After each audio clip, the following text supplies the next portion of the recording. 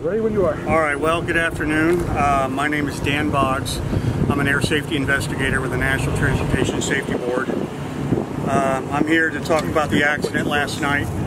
That uh, about 7.30 last night, we had a Cessna 140, uh, tail number uh, November 89864. Uh, was taken off of runway 6 and not really sure exactly what happened. We're under the investigation, but he did make a left-hand turn after takeoff and uh, ended up in the trees next to uh, a couple of houses out, out at the end of the runway. Um, we are going to be looking, uh, we are taking the aircraft up to the aircraft salvage yard right now, and we will be going through all of the systems and the engine. Uh, we will be looking at the uh, the pilot's experience and past. We will be looking at the weather conditions to see if anything of that impacted.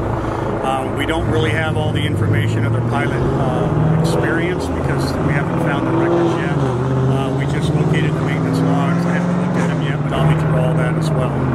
Um, right now, that's really all we have, um, and I'll take some questions that you guys have. Dan, you said that, they were takeoff here, got up just treetop. Brittany.